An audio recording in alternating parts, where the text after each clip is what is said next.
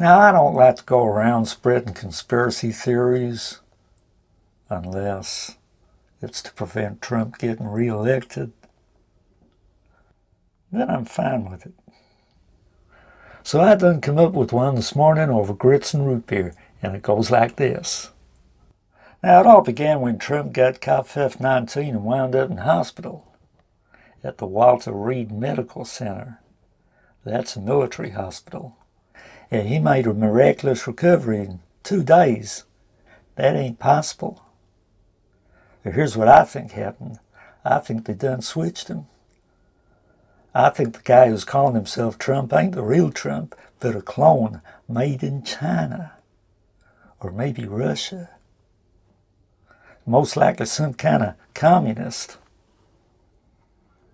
Now, if you want proof of this, just look at the guy's hands. They're white, not orange like his head.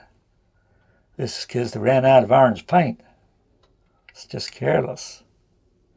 So my advice to all you Trump supporters would be don't vote for the guy because he's a red communist impostor. He ain't the real Trump. Vote for the other guy.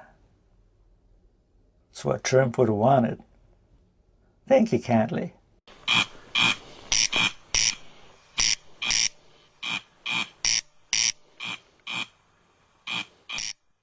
You really think they're dumb enough to go for that?